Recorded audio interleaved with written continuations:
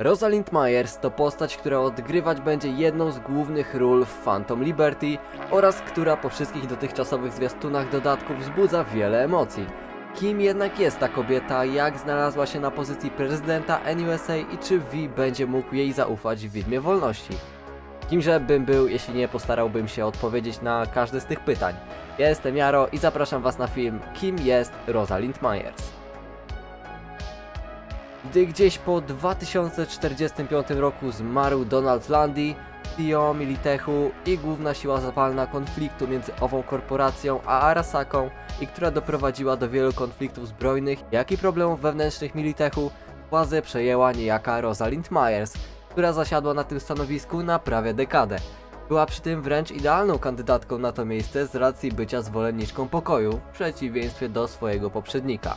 W 2069 zaś przejęła pozycję Elizabeth Kress i została prezydentką NUSA, choć tak naprawdę nowe Stany Zjednoczone dopiero się formowały. Myers chciała na nowo zjednoczyć całą Unię i wezwała do podporządkowania się wszystkie wolne Stany. Niestety nie było to takie proste, gdyż wiele stanów wolało pozostać niezależne. Niedługo potem ta wspaniała Rosalind, dla której pokój jest najważniejszy, rozpętała wojnę unifikacyjną, która jest powtórką z rozrywki z czwartej wojny korporacyjnej, która miała miejsce prawie 50 lat wcześniej. Myers wykorzystała swoje niedawne wpływy w Militechu i zatrudniła go do siłowego zajęcia się wolnymi stanami, które z kolei finansowane były przez Arasakę, więc tak jak wspomniałem przed chwilą, historia zatacza koło. W założeniach wszystko miało pójść sprawnie i pomyślnie, jednak obie strony wyciągały coraz to cięższe działa, coraz więcej ludzi ginęło, aż w końcu zarówno Arasaka z wolnymi stanami, jak i NUSA z Militechem zrozumieli, że wojna na szeroką skalę przyniesie więcej szkód niż korzyści, dlatego szybko postanowiono zawrzeć traktat pokojowy, który zakładał faktyczną autonomię wolnych stanów, ale zmuszał je do ścisłej współpracy z nowymi Stanami Zjednoczonymi Ameryki, a Night City udało się obejść i bez tego. To wszystko można w sumie uznać za sukces Myers jako prezydentki, chociaż to jeszcze nie koniec jej rządów. W momencie akcji fabuły Cyberpunk 2077 Rosalind Myers pełni swoją trzecią już kadencję na stanowisku prezydent NUSA. I wtedy już niestety opinie o niej były podzielone z przewagą tych negatywnych. W międzyczasie Rosalind zleca bombardowania baz jej przeciwników, wydawała oświadczenia, no zwykła codzienność rządzącego w tych czasach. Po akcji w Konpeki Plaza, gdzie Vi i Jackie byli świadkami zabójstwa Sabura Arasaki przez jego syna Yorinobu, japoński gigant oskarżył rząd NUSA i Militech o ten haniebny czyn. Myers twardo oświadczyła, że nie dadzą się zastraszyć i jeśli tylko Arasaka obróci się przeciwko nim, nie zawahają się przed użyciem ciężkiej broni.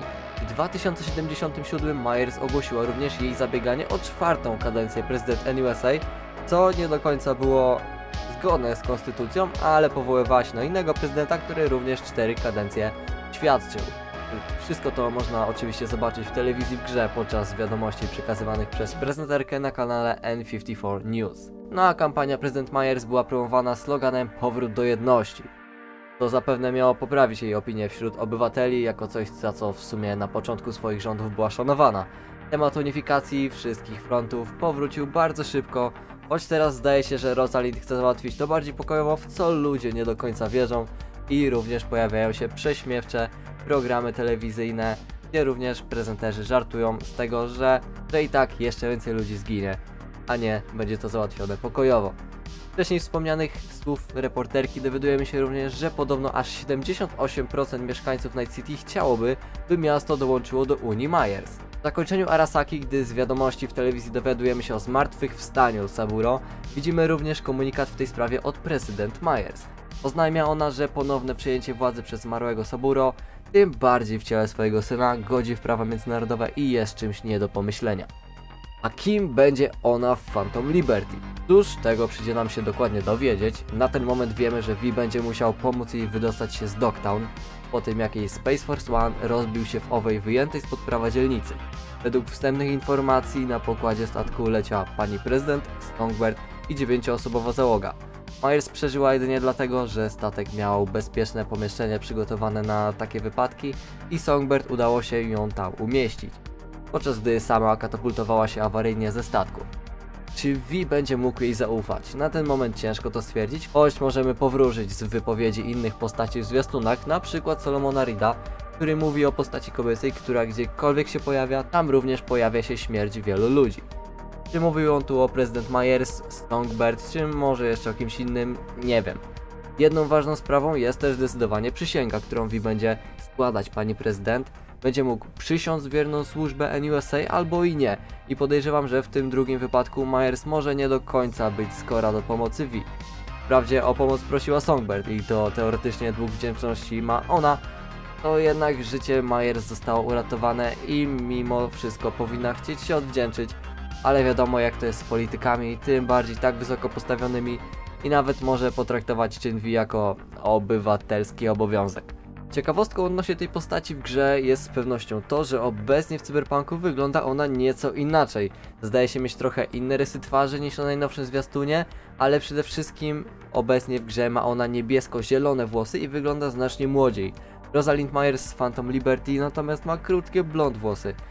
Ciekawe jak Redzi rozwiążą to w grze, bo przecież fabuła Widma Wolności dziać się ma gdzieś w środku fabuły, postawki Cyberpunka, a przecież w telewizji wciąż możemy oglądać jej wersję z niebieskimi włosami, nawet w jednym z zakończeń, czyli teoretycznie po spotkaniu inaczej wyglądającej Myers.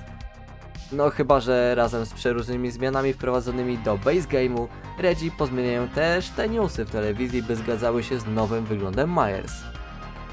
I to już wszystko, co na ten moment wiemy o samej prezydent NUSA, Rosalind Myers. Pewnością będzie ona jedną z ciekawszych postaci tego dodatku i sporo namieszcza w fabule. A wy co o niej sądzicie? Czy jeśli w dodatku będzie możliwość wyboru z kim się sprzymierzamy, to wolelibyście na ten moment sprzymierzyć się z prezydent Myers czy z Solomonem Reedem? Tym was zostawiam, dziękuję wam serdecznie za oglądanie i do usłyszenia w kolejnych filmach na moim kanale. Trzymajcie się i cześć!